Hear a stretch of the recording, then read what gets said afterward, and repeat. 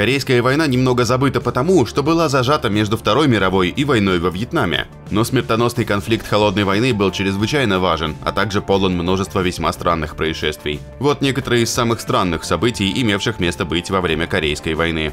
Из всех главных игроков в забытой войне Дональд Николс был тем, кого Америка изо всех сил пыталась забыть. Его способности к языкам и полное отсутствие совести помогли ему завоевать расположение южнокорейского президента Ли Син Мана.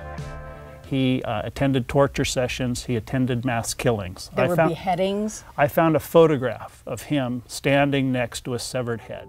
Холодный и расчетливый Николс сделал себя незаменимым для вооруженных сил США и Южной Кореи во время войны. Благодаря перебежчику из Северной Кореи, у которого были украдены военные кодовые книги, Николс располагал средствами для расшифровки сообщений врага и мог мешать их операциям. Но вместо того, чтобы поделиться этой важной информацией со спецслужбами, он сформировал собственную группу взломщиков кодов, сделав себя крайне важным человеком как для США, так и для Южной Кореи. Из-за того, насколько он был важен, Николс буквально избегал наказания за убийство. Когда подчиненные не соглашались с ним, он выталкивал их из самолетов и лодок. У него даже была перестрелка со своими же агентами. Но после войны армия США настолько устала от Николса, что на него надели смирительную рубашку и подвергали электрошоковой терапии несколько месяцев. Если надо залатать пулевые отверстия при отрицательных температурах, то и риски просто находка. Благодаря нелепой случайной путанице морские пехотинцы обнаружили этот забавный факт в ходе самой ожесточенной битвы Корейской войны. Как подробно описывает Хистори, в первые месяцы войны силы Северной Кореи были настолько малы, что генерал Дуглас МакАртур предполагал, что к Рождеству все закончится. Но затем китайские войска неожиданно вступили в бой у водохранилища Чосин в Северной Корее. Морпехи позже ненавистно окрестили этот район замороженным Чосин. Морские пехотинцы не смогли сокрушить северокорейских коммунистов. Их загнали в угол 100 тысяч китайских бойцов в горном регионе, где температура достигала минус 40 градусов. И они предприняли 112-километровое отступление. Пулевые ранения застывали от ужасного холода, а ледяные трупы использовались в качестве мешков с песком. Патроны кончались, и войска потребовали сбросить с воздуха боеприпасы для 60-миллиметровых минометов под кодовым названием Tutsi Rolls. Однако радистка по ошибке в срочном порядке заказала одноименные ириски. Зато морские пехотинцы выяснили, что они могут растопить конфеты Tutsi Rolls во рту и сделать своего рода шпаклевку, которая залепит пулевое отверстие в оборудование, когда замерзнет. Эта изобретательность позволила им выполнить свою миссию и уничтожить несколько китайских дивизий. Прежде чем мы углубимся в это, важно помнить, что НЛО — это неопознанный летающий объект. То есть наблюдатель просто не понимает, что за летающую штуку он видит, хотя загадка этой штуки до сих пор не разгадана. Как сообщает History, в 1951 году войска, дислоцированные примерно в 96 километрах к северу от Сеула, описали, что видели тыквенный фонарь, который летел прямо с горы. Очевидцы утверждали, что аппарат мог парить и излучал оранжевый, а затем сине-зеленый мигающий свет. Попытки сбить его бронебойными пулями приводили к непредсказуемому движению корабля. А прежде чем улететь, он выпустил световые волны, которые якобы вызывали ощущение жжения и покалывания. Через три дня все в отряде были так больны, что не могли ходить. У мужчин была диагностирована любимая всеми военная болезнь – дизентерия. Однако бывший ученый НАСА посчитал, что их симптомы соответствуют радиационному отравлению. Некоторые предполагали, что солдаты стали жертвами луча смерти, а другие, что стресс вызвал галлюцинации. Однако, если это так, то у 42 свидетелей были пугающе похожие видения. Переговоры о прекращении огня начались в 1951 году, и, как сообщала Атлантик, Северная Корея отчаянно хотела выглядеть сильной. Во время одного сеанса ведущий переговорщик от Северной Кореи на протяжении 2 часов и 11 минут просто смотрел на вице-адмирала США и молчаливо курил. Помимо прочего, ножки стула для представителя США были укорочены, чтобы переговорщик Кореи выглядел выше. Но ситуация стала крайне абсурдной, когда северокорейцы заметили, что флаг ООН на столе переговоров больше, чем их флаг. Так что Северная Корея принесла флаг побольше. Затем Южная Корея подняла еще больший флаг, вызвав исторический конфликт, который отлично мог бы описать Зигмунд Фрейд. По данным Independent, Северная и Южная Корея продолжали соперничать, пока их флаги не перестали помещаться в конференц-зале. В конце концов, Южная Корея установила столб высотой в 100 метров, а Северная Корея ответила ему шестом высотой в 160 метров, который некоторое время был самым высоким на Земле.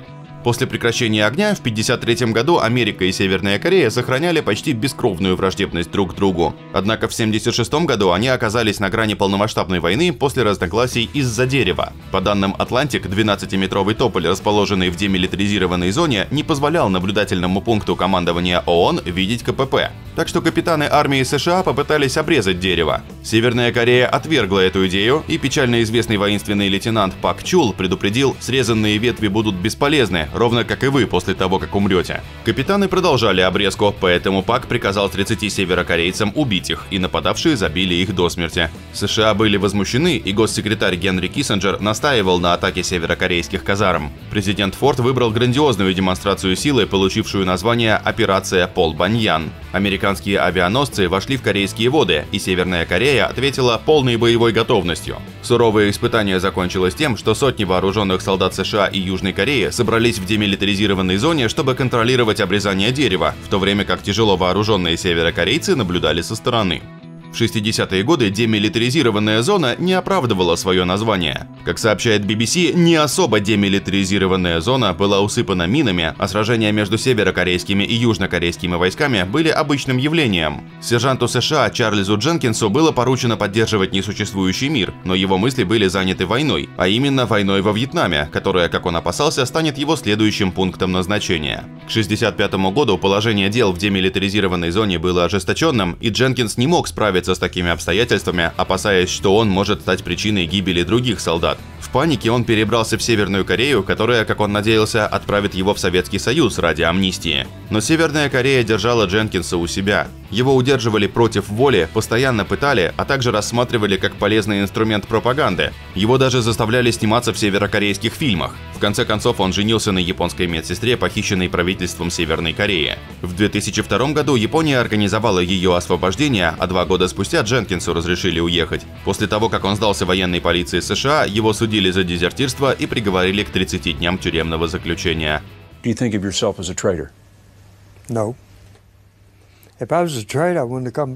Во время войны в Корее северокорейский диктатор Ким Ир Сен организовал похищение примерно 84 тысяч южнокорейцев, поскольку он стремился восполнить массовое бегство, произошедшее при оккупации Японией Корейского полуострова. После Второй мировой войны Япония была вытеснена, образовалась Северная и Южная Корея, а новые испеченные соперники соревновались за то, чья земля сможет утвердиться в качестве законной родины корейского народа. После перемирия 1953 года Северная Корея продолжила свой проект принудительного переселения, по сути похищая южнокорейских рыбаков. Это продолжалось десятилетиями, и агентство Рейтер сообщило, что Южная Корея почти не признавала похищения людей, опасаясь рассердить своего злобного северного соседа. Между 77 и 83 годами Северная Корея также похитила от 20 до 100 японских граждан, часто увозя их с родины в мешках. Заключенных заставляли обучать северных корейцев выдавать себя за иностранцев для шпионских организаций или самостоятельно проводить шпионские миссии. Американский сержант Дженкинс, о котором мы упоминали ранее, заявил, что в Северной Корее действует программа разведки шпионов, в рамках которой заключенные производят межрасовых детей с корейцами. Согласно Scientific American, признание вины заставляет людей чувствовать себя слабыми и смущенными, а извинения перед кем-то часто рассматриваются как уступка контроля. Однако в 1968 году Америке пришлось проглотить свою гордость и извиниться перед Северной Кореей. Согласно National Public Radio, северокорейские силы атаковали USS Pueblo, судно-шпион, выдающее себя за корабль, проводивший экологические исследования недалеко от Северной Кореи. Один член экипажа был убит, а остальные 82 американца были заключены в тюрьму и подвергались пыткам в течение 11 месяцев. Чтобы спасти свою команду от казни, капитан-лейтенант Пит Бухер признался в шпионаже. Помимо заявления Бухера, Северная Корея потребовала извинений от правительства США. Это был дипломатический удар для президента Джонсона. Он пытался, но не смог запугать Северную Корею, чтобы она освободила членов экипажа, которые нашли несколько интересных способов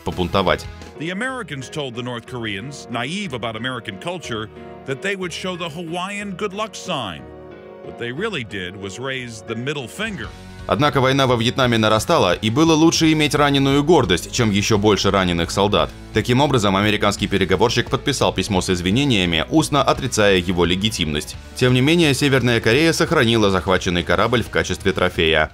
История агрессивных жестов Северной Кореи длинная и безумная. Страшно то, что у Северной Кореи есть от 20 до 60 единиц ядерного оружия. США попытались обуздать ядерные амбиции страны с помощью санкций и осуждения, но было сложно убедить их после того, как США разрушили Северную Корею и десятилетиями угрожали ей ядерным оружием. Большая часть Корейской войны велась при президенте Трумане, который подверг атомной бомбардировке Японию во время Второй мировой войны. В 50 году он даже думал сделать то же самое с Северной Кореей и И согласно журналу Air and Space Magazine, ему это почти удалось. Чтобы показать, что он не шутит, Трумэн провел пресс-конференцию, на которой объявил, что сделает все ради победы, даже скинет ядерную бомбу на врага. Он даже приказал имитировать атомные бомбардировки и разрешил генералу использовать ядерный вариант, если тот сочтет его необходимым. Вместо этого Америка использовала сотни тысяч взрывчатки, согласно Newsweek, и начиная с 1958 года США развернули ядерное оружие в Южной Корее на 33 года, чтобы сдерживать Север, как сообщает буллетин of Atomic Scientists.